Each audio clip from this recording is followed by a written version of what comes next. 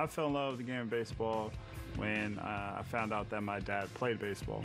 You know, and at that point, I wanted to be just like my dad. You know, at that time, I wanted to to, to do what he did, and um, you know, I had just given up golf.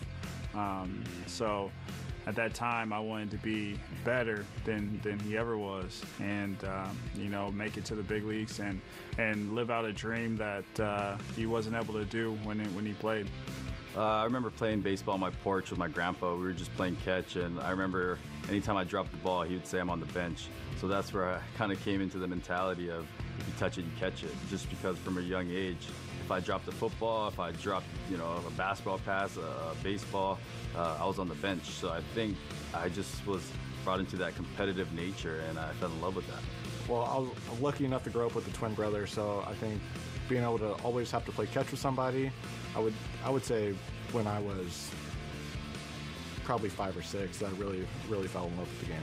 First professional baseball game I went to was out in San Francisco. I went with a buddy of mine who had his uh, his grandparents had season tickets to Giants games, and um, they asked me one weekend if I wanted to make the trip out there, and you know I was.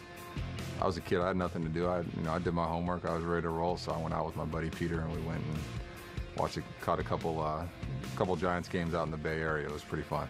It was actually when I was in, I was living in Minnesota, um, and I, I, my parents caught a foul ball um, from Hal McRae, and my middle name's McRae, so my mom thought it was like the coolest thing in the world. I was only two or three years old, um, but I still have that ball at, at my uh, my parents' house in my, in my room, um, so I thought that was a, a cool experience.